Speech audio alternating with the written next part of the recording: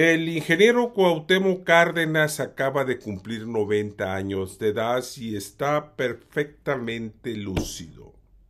Es el mismo que conocí hace tiempo.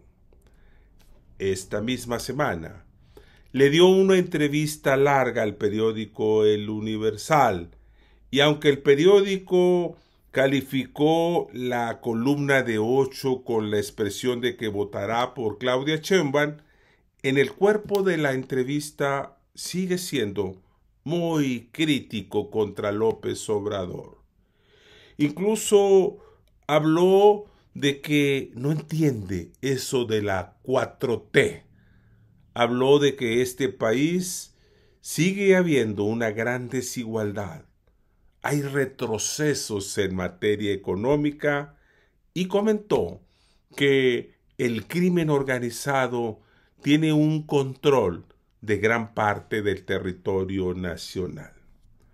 ¿Cuál es su opinión acerca de estas declaraciones? Le pregunta el reportero de El Universal.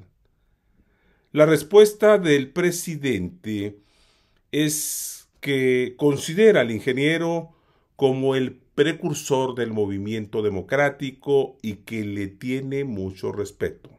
De hecho, dice que respeta todo lo que dice.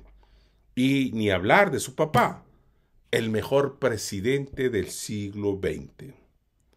No siempre López Obrador ha pensado así.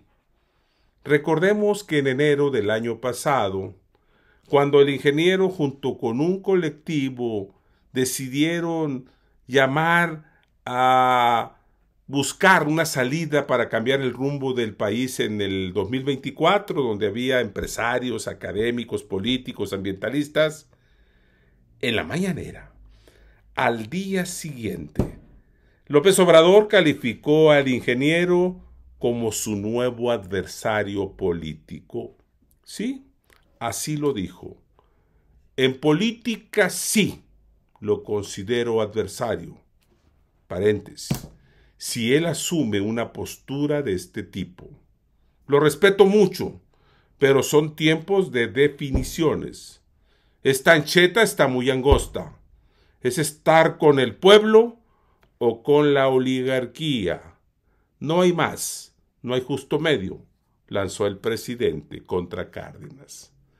Horas después, el ingeniero se bajó del grupo. Ya no acudió más. Pero las cosas ya no fueron igual. Meses después, semanas, salió su hijo del gabinete y ante una invitación al aniversario del 18 de marzo en el Zócalo, Cárdenas le dijo no. En enero de este año, pude charlar ampliamente con el ingeniero con un grupo de amigos en un restaurante aquí en la colonia Cuauhtémoc y debo decir que Cárdenas fue muy crítico del gobierno de López Obrador. Leo la entrevista completa del Universal que lo sigue siendo. O sea, la cabeza es engañosa. Votaré por Chumban. Hay que cambiar a Pemex, Cuauhtémoc Cárdenas. No dice que llama a votar por ella.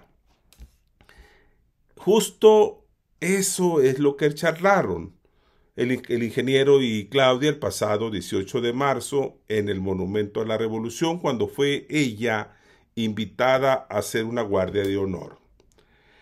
Pero el ingeniero es crítico, no va a cambiar. Cuando le pregunta el reportero cómo define la llamada cuarta transformación, la respuesta es no sé. No conozco ningún documento que me diga qué significa. No conozco un proyecto de nación, por lo tanto, no sé qué es lo que se está buscando. Durísimo contra López Obrador. Dijo más cosas.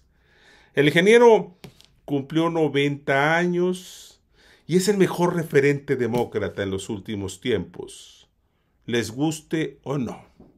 En lo personal respeto y admiro su espíritu conciliador.